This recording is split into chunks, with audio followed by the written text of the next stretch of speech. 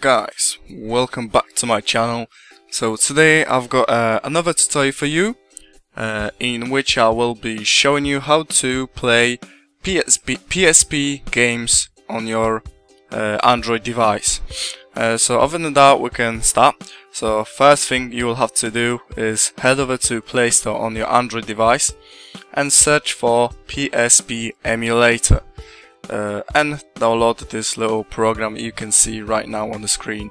Uh, after you downloaded it and installed it on your Android device, uh, you wanna uh, download some type of a game you want to play on your Android device, uh, so PSP game, and put it on your Android device anywhere where you will know where it is.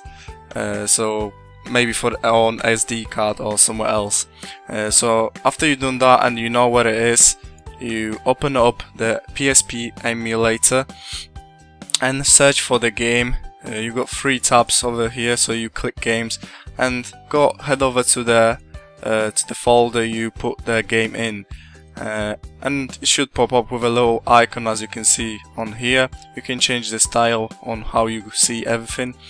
Uh, so after you found it on your Android device, all you have to do is basically click on it and the games should launch.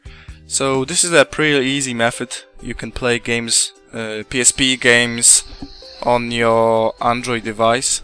So it's not really hard. Uh, all you have to do is really download the game you want to play and put it on your Android device. That's the most work you have to do. And other than that, other than that, it works really smooth. Uh, you, as you can see, you got the full controller as you would on the PSP. Uh, so I wouldn't recommend playing uh, FPS games as it would be really hard to play. But other than that, like Worms or maybe all like strategy strategy games, uh, they are more than uh, better to to play on on this method. Uh, so yeah, thanks for watching guys. If you enjoyed the video, it would be appreciated if you could leave a like on it. Uh, if you want to see how to play PS1 games on your Android device as well, then I've got a, a tutorial for that as well. I'll leave, I will leave a link down in the description and as also a annotation on the screen. So if you're interested in that, you can watch that as well. Uh, and other than that, thanks for watching. Uh, if you want to see any of my future videos, it would be appreciated if you could subscribe. And I will see you later on my next video. See ya.